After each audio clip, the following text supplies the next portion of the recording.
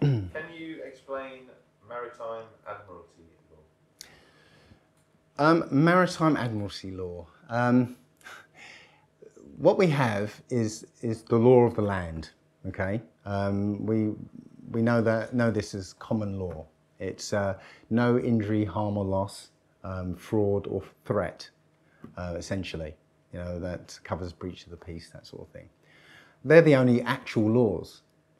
Um, what's happened is um, the law of the sea, maritime admiralty law, has been overlaid on top of um, the common law.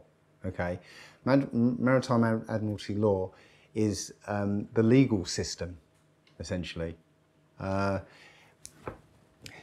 it's based on um, contract law uh, or commercial law because that's that's how uh, the law of the sea works. I mean, it's the the sea was used for commerce, you know, trading between countries, and uh, uh, and that um, so countries needed to be able to have a common uh, set of bargaining tools as such to um, you know to, to trade with each other.